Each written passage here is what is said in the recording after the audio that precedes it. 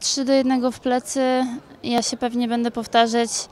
E, Myślę, że potrzebujemy chwilkę czasu, żeby się zgrać, bo dzisiaj było bardzo dużo zamieszania na boisku, było dużo błędów własnych i e, na pewno to też wynika z tego, że gdzieś tam dwa treningi odbyliśmy razem i myślę, że wszystko e, jakby naprawimy i jakby nie zwieszamy głów.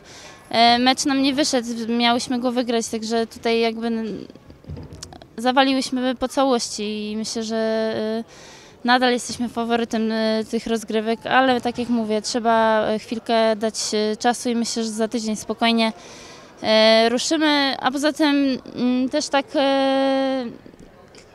trenerzy chcieli, żebyśmy gdzieś tam formę złapały troszkę później, także dziewczyny dopiero przyjechały z mistrzostw, na pewno są zmęczone.